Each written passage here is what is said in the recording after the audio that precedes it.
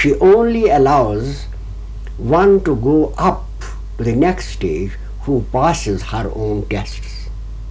And those tests are that he develops a high moral caliber. I do not mean moral caliber in the sense of sex, in which it is held at present. Sex is a natural appetite of man. I mean moral caliber, his love for fellow human beings, his love for truth, his uprightness, his compassion, his charity, his selfless work, and other such virtues.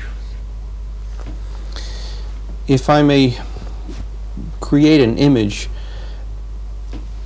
you are on the mountaintop seeing far, but down here is a spiritual aspirant who would like to get to the mountaintop.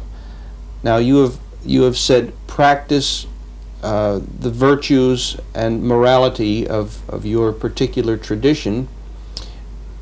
What about, however, uh, the question of vegetarianism or methods to awaken Kundalini, meditational and otherwise? What about um, the, the, the practice of various forms of yoga? Various systems. Would you recommend these to a person? You see, I would, about vegetarianism, I would not adopt a fanatical attitude.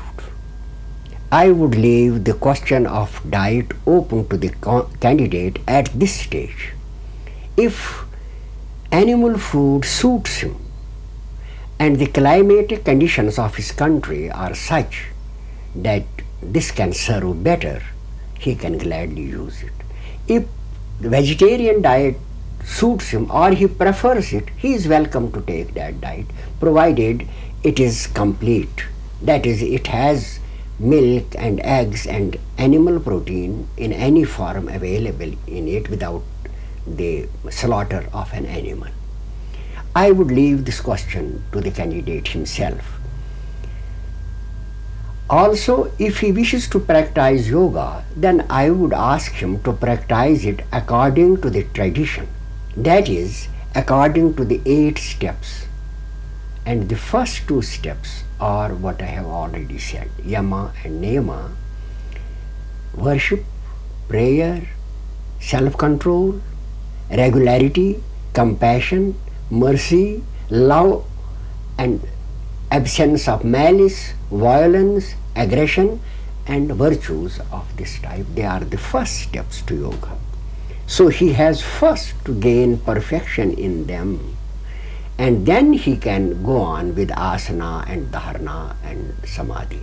But if he likes to do all together, he is even welcome to do that. He can even practice meditation side by side with his other effort to raise himself in morals and ethics. There is generally a reluctance to follow all the various limbs of yoga and only to snatch at meditation or pranayama or asana because people believe that these are the real things and with this they can reach the higher level of consciousness easily.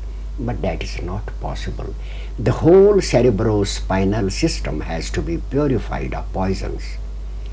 And greed, malice, immoderate ambition, passion, malignancy, malevolence, hatred, aggression and violence create nerve poisons which will be a hindrance to any practice of yoga and would not allow the aspirant to reach the desired state.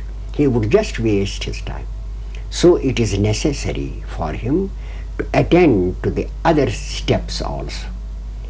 Another point is that the evolution of human beings is proceeding on a complete basis. The will, the imagination, and the emotions all must evolve correspondingly. It would not do to have an evolved imagination with a weak will. Therefore, the first two limbs of yoga, yam and niyam, develop the will also, and that is an essential part of yoga discipline. So the key words for you then would be moderation and balance.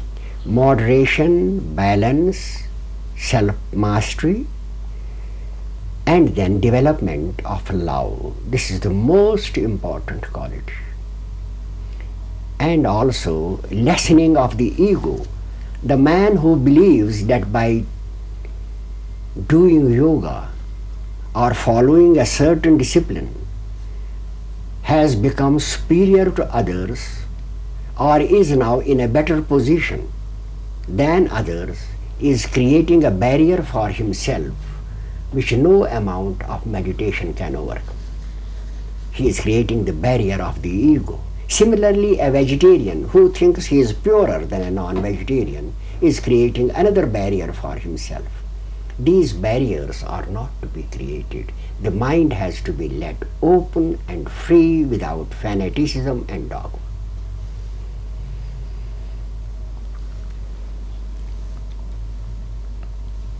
I would like now to focus on the scientific aspects of your work. Would you please comment as specifically as possible on what you see as the special significance of Kundalini research on five major areas of human experience? One, what is the significance of Kundalini research for physics? Second, what is its significance for psychology and psychiatry? Third, religion. Next, education. And last of all, politics. Yes. So let us first take physics. The research on Kundalini will of course bring before the observers one in whom enlightenment has occurred. I mean the last stage. And in the state of enlightenment, the solid reality of the world vanishes. So, what the physicists are now encountering in the subnuclear depths of matter, the enlightened sees it as a reality.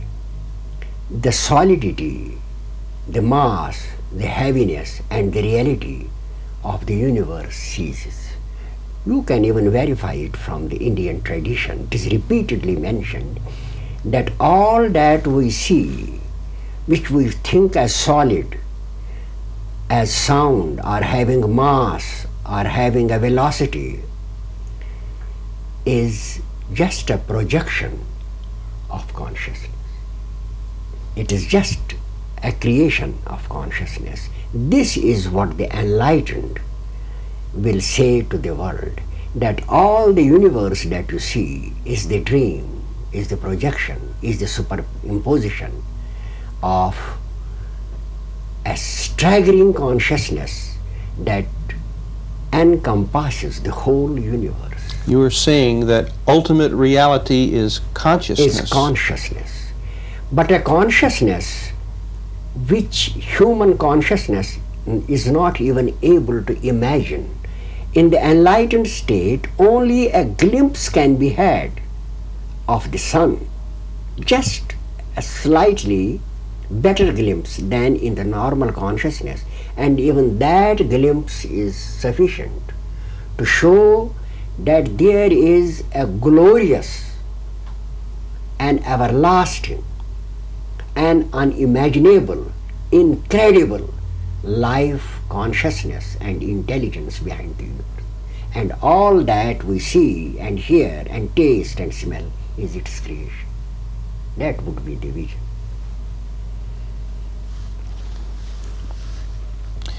You have mentioned the, the word prana as the, the yogic term for a new form of energy that science, especially physics, will have to direct its attention to. Uh, what are some of the characteristics of, of prana? What, what indications can you give for the observable and verifiable um, discovery of, of this, what at present I have to say is a hypothetical form of energy? Yes. You see, though it is uh, hypothetical, but it has at least the testimony of hundreds, even thousands of yogis for the last thousands of years. This prana is used from the Vedic times and thousands of sages who were who never spoke a word which was not the truth have testified to its existence. Now prana is something which is not possible to explain through human language. It is a super intelligence, almighty and all powerful substance, medium, and which is capable of creating any form of life and any object of the universe, even those which we cannot perceive by our senses. This is the substratum of the material universe. In other words, I would say that behind the university, in universe, there is an energy which is not even thought of by our physicists, which is in fact the real energy from which matter comes out. Prana is the substratum of the Of the material universe, universe, from which the presently recognized four forms of energy electricity, magnetism, gravity, and the nuclear energy Yes. come. This is the stuff from which creation is born. This is the energy of the Creator, the first energy of the Creator from which all is created. That is prana. Is, is physics approaching this through subatomic? It is coming nearer to it, definitely. It is coming nearer to it. And in the Sanskrit terminology, the generic name is Shakti, energy. And the generic name of cosmic consciousness is Shiva or Brahman. This is, Brahman is the consciousness which is the primordial cause of the universe and Shakti is his energy by which the universe is brought into existence. What the future uh, research will reveal, I cannot say. I mean about the nature of Shakti, maybe its deeper nature or about its components or whatever it is, but so far as the mystical experience and experience of yoga is concerned to this day, there is one cosmic consciousness which has the power of creation and that power is known as Shakti. We can call it Maya Shakti, the power of illusion, or Shakti or Pran Shakti. It is a mysterious power which may be behind what we call as the material energy, which may be even its source and its cause.